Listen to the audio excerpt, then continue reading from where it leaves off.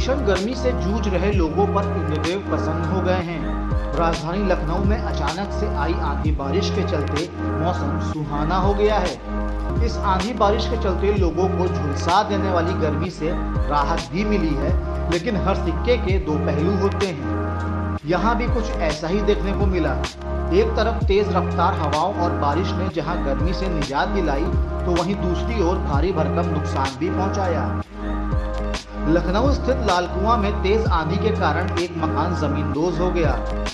अभी तक इस हादसे में किसी के हताहत होने की खबर नहीं है। इसके अलावा राजधानी लखनऊ में ज्येष्ठ मास के शनिवार पर लगे भंडारों के पंडालों को भी धराशायी होते देखा गया। लोगों में अफरा तफरी का माहौल भी दिखाई दिया।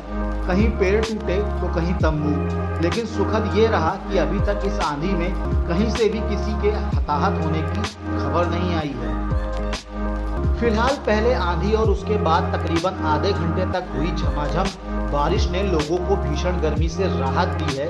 इससे पहले राजधानी दिल्ली और राष्ट्रीय राजधानी क्षेत्र यानी एनसीआर में सुबह से ही तेज हवाओं के साथ रुक रुक कर बारिश हो रही थी। Report team daily insider UP और देश दुनिया की तमाम ताज़ा तरीन खबरों के लिए गूगल प्ले स्टोर से आज ही डाउनलोड करें हमारा तेज़ी से उभरता न्यूज़ ऐप, डेली इंसाइडर